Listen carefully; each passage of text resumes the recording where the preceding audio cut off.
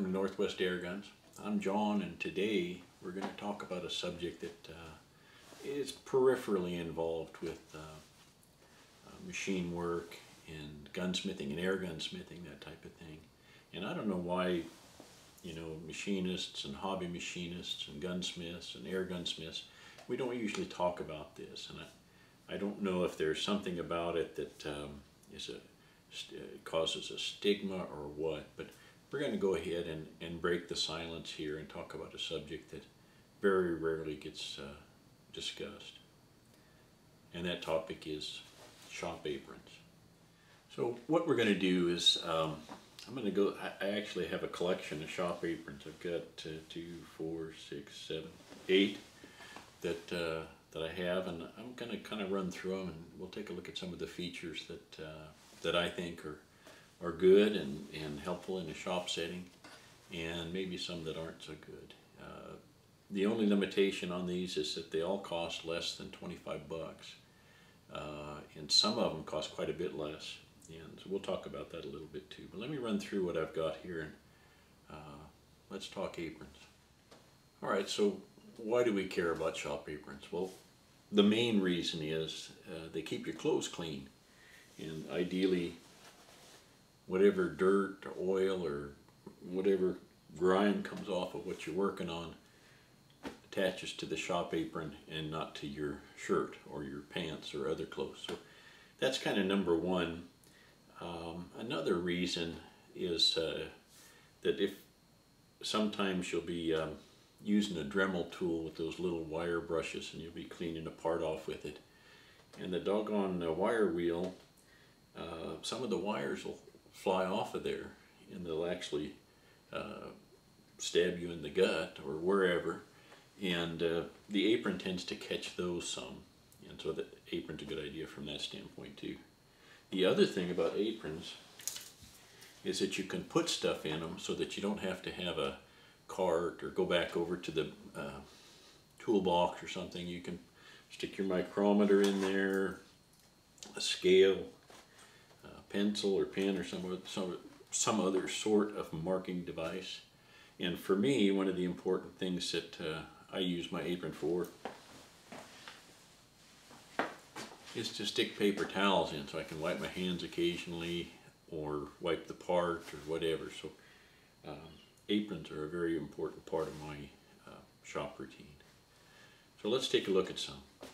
All right, well here we go. Uh, this is the first apron I ever owned and uh, this is actually not a machinist apron it is kind of a denim but I got this in 1973 uh, when I was working as a student uh, uh student uh, employment at the post office in Sacramento California.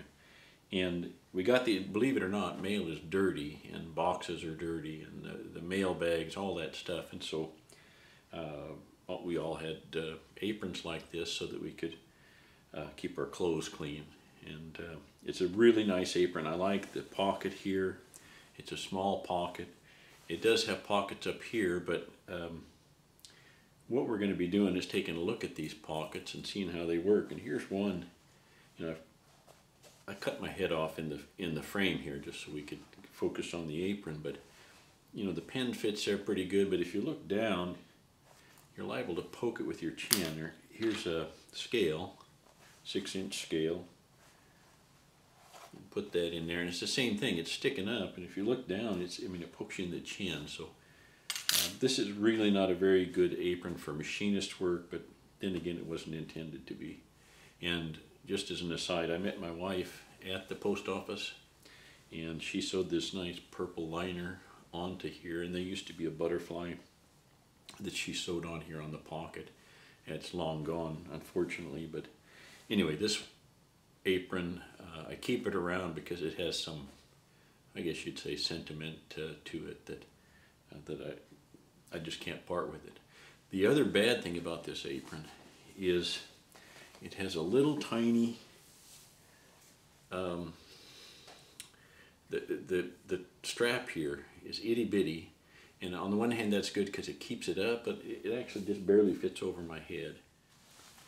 Well, I'm not going to talk too much about this one. This is a uh, more of a woodworker's or carpenter's apron.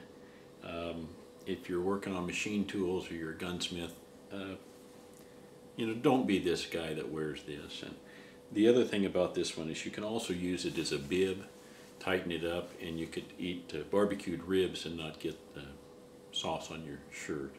But yeah, don't be this guy. All right, well this is a, an apron that I got up in uh, Lassen College.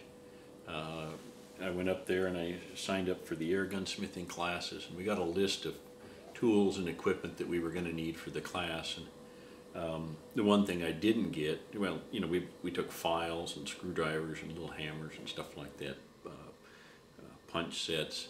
And, on the list was a, a shop apron. But I didn't have any, I didn't have time to go shop for one, so we got up to the class and the first day, um, you know, I didn't have an apron and I could tell that I was going to get my clothes dirty if I didn't have one. So I went over to the student store, myself and one other student, uh, my friend Bob Sloan, and uh, we went to the student store and we shopped for aprons there. And they only had uh, this one apron. It's the only one. And in fact, it's not an apron. It was in the art section, and this is actually an artist's frock.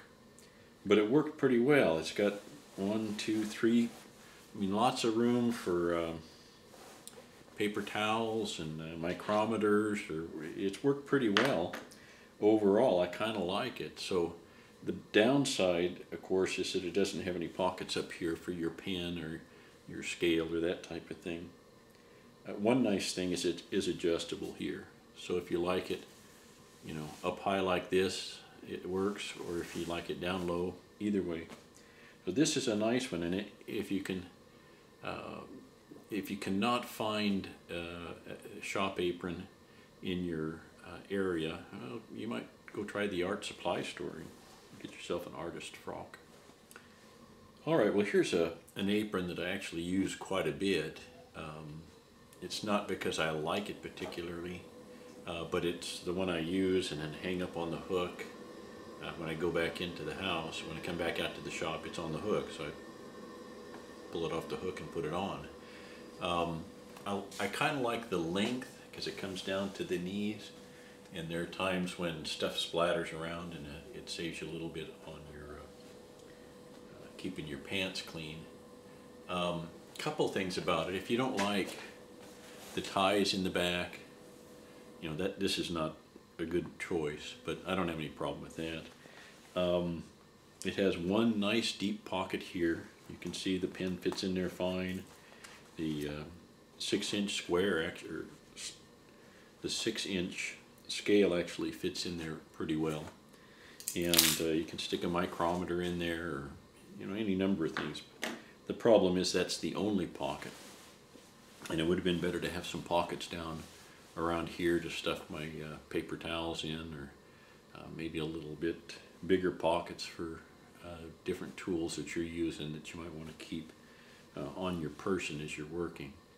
And then finally, the, the other thing I don't like is that there's no adjustment on the neck. You can't bring it up or down without uh, tying this strap uh, or sewing it or something like that. So, you know, I'm going to switch um, and this will no longer be the one that's hanging on my hook. Right. This is one I've had for a while and I think, I'm trying to remember why I stopped using it because I kind of like it.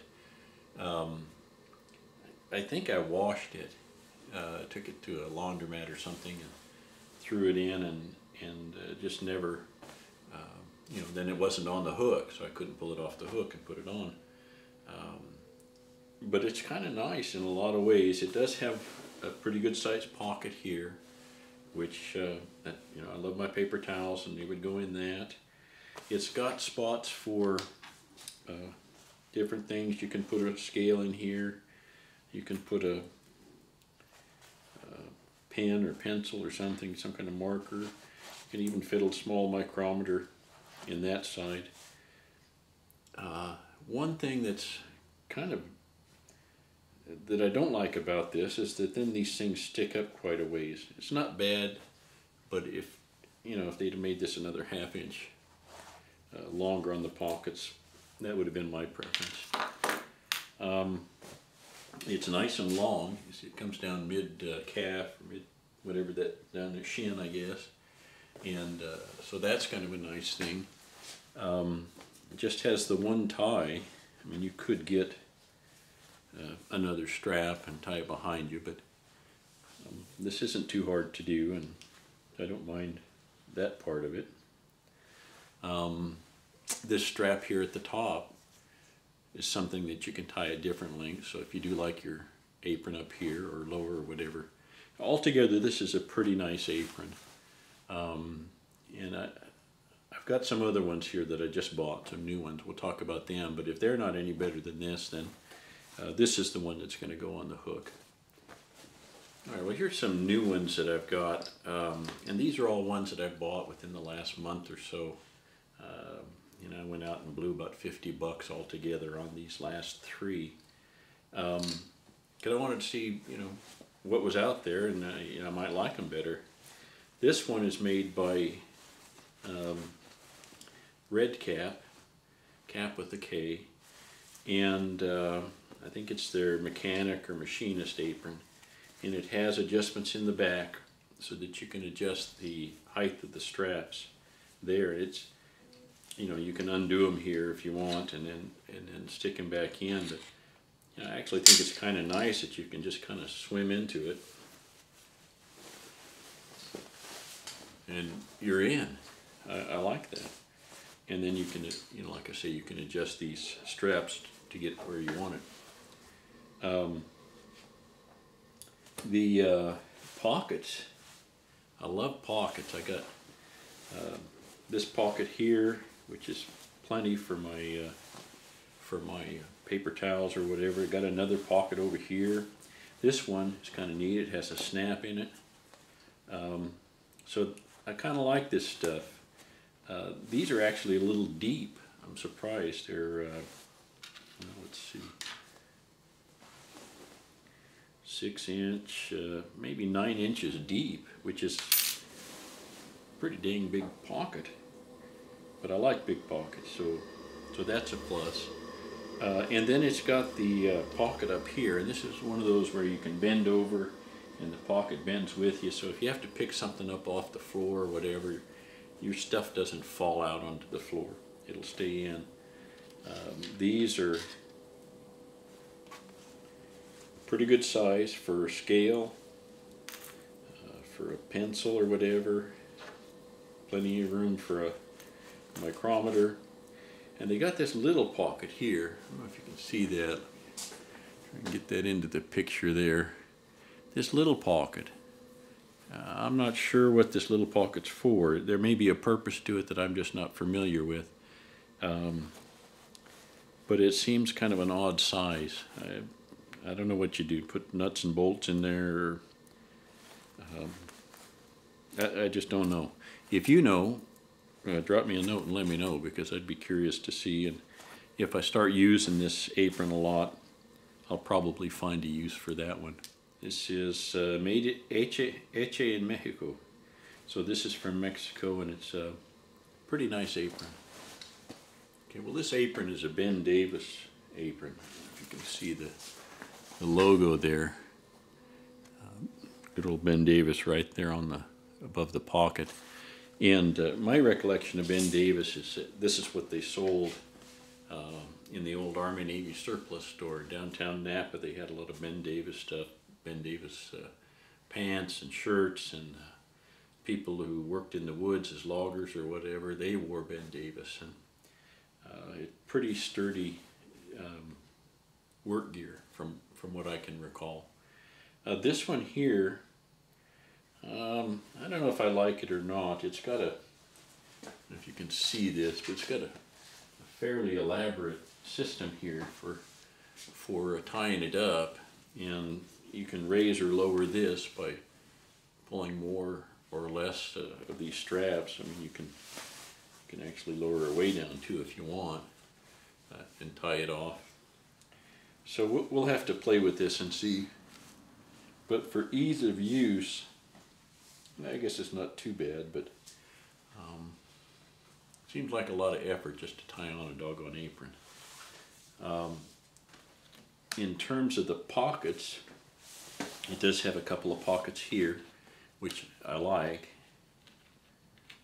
Let's see, these are um, a little less than six inches deep and a little more than, a little more than, see, a little more than six inches wide, about seven inches wide. That's a good sized pocket. You can put plenty of stuff in there, but they are shallow. So if that's an issue, uh, I guess we'll find out. It has pockets up at the top here. Again, it's got the, the kind that uh, flops out if you bend over. Uh, these pockets here are at about four inches, which I guess is okay, but again, if you're gonna make a pocket, I- I would have made them a half inch to an inch longer so that just, the, you know, the, the top of your scale or your pencil or whatever sticks out. This one here is about five inches deep, and so you can put a lot of stuff in there. That's a good one for scales, or, you know, pens or whatnot. And again, it, it'll it'll flop open like that when you bend over to get something up off the floor. So I kind of like this um, in almost all respects, except for it does seem elaborate to have to tie it up. And this one, Ben Davis used to be made in the United States, and now they're made 100% cotton, uh, made in the Dominican Republic of USA fabric. So I guess the cotton comes from the United States, and they sew it up. Uh, you know, when they when they're done sewing baseballs, they make uh, Ben Davis aprons. But that's a nice apron. I like that, and like I say, it's less than 20 bucks is my recollection, or right about 20. Oh, 17.99. It's right there on the sticker. Okay, the last apron we've got here is uh, Dickies, and I got this from uh, Working Persons, a Working Persons store. It cost uh, 14.99, 15 bucks for it, and uh, this one is uh, hecho in Mexico as well, and it's nicely made. It's got a lot of the same features as the Ben Davis, but just a little bit different pattern as far as the uh, pockets here on the top. Let's see, this is. Uh, that's about a five inch pocket, and that's also a little less than five inch pocket here. So that's kind of nice. It's got the the uh, fold out pocket here. It's got two pockets down below, which are similar in size to the Ben Davis, and all of which leads me to believe that they're uh, pretty similar in most respects. I didn't put it on yet, I just wanted to show how the uh, ties go because uh, this is similar to one we looked at earlier. Uh, in that you got two straps here. One of them you're going to use for the neck to get that however long you want it. And the other one is just a simple tie in the back where you bring it from one side around and tie it into this side. Uh, plenty long. Well, this is a nice apron. I, I think I could I could uh, use this and be pretty happy with it. So let me wrap this up. Um, which one is my favorite apron? I don't know yet. I'm going to have to try out the Dickies and the Ben Davis to see which one of those works best for me. Um, the Red Kap, I think, is is a contender. Uh, it's got some nice features and it's got huge pockets. Uh, I'm not sure I, I, like the straps, but um, they are adjustable. And like I say, you can just kind of slip into it without tying stuff. So I kind of like that. And then the other ones, you know, the older ones that I've got here, uh, these are okay, but um, well, this one here is actually, I'm going to try this one again. I may hang this up on the hook and just see what, uh, how I feel about it after a while. So, so that's kind of a short look at uh, machinist aprons and gunsmithing aprons. And if you don't have one, um, you're going to get your clothes dirty underneath. Uh, and you're not going to have these handy pockets to put your stuff in while you're working. Um, so, kind of like a lot of things, better to have a even a bad apron than no apron at all. I mean, really. There is uh, there's this one, and this is better than nothing. And like I say, this can double as a bib for when you're eating sloppy food. Okay, that's it. Thank you for watching.